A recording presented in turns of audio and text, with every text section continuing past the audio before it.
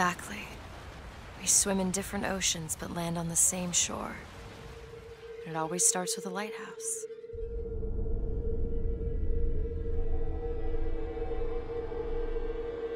I am Andrew Ryan, and I'm here to ask you a question.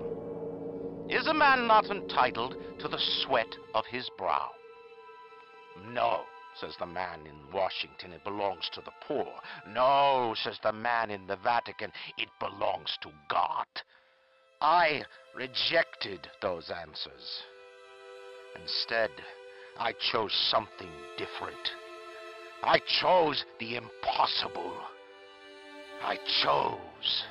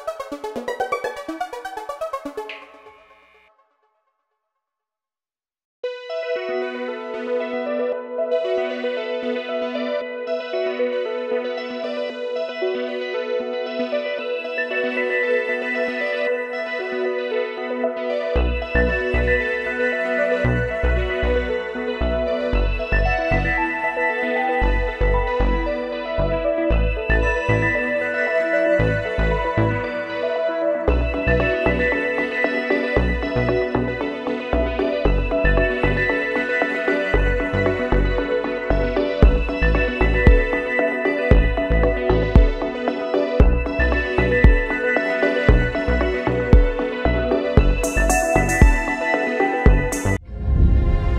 the beginning, we were wrong. And only now have we begun to understand the mistakes we have made.